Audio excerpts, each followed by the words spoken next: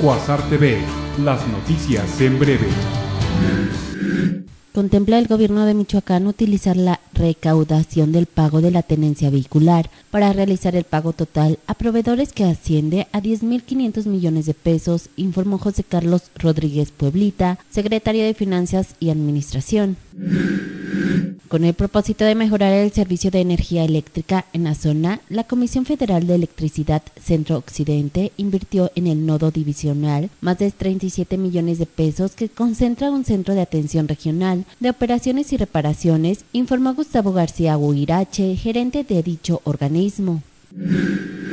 En rueda de prensa, el delegado del ISTE, Israel Patrón Reyes, informó que se ha avanzado en cinco obras y acciones con motivo del Plan Michoacán y ejemplificó que hay un avance del 98% en la remodelación de 23 unidades médicas en la entidad, entre otras acciones en el marco del Plan Michoacán, así como avances en otras áreas. Michoacán se encuentra a nivel nacional en uno de los últimos lugares en materia de competitividad, por lo que el secretario de Fomento Económico de Morelia, Luis Navarro, hizo un llamado a las empresas a invertir en este tema.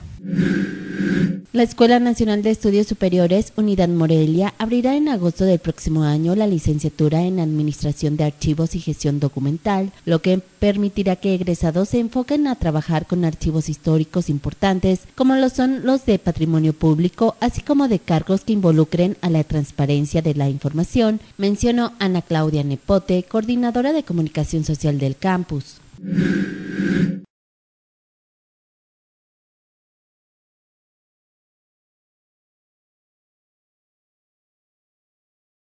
De un total de 3.500 millones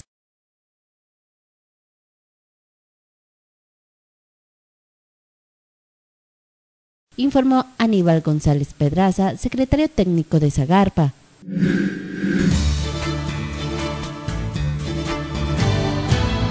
Cuasar TV, las noticias en breve.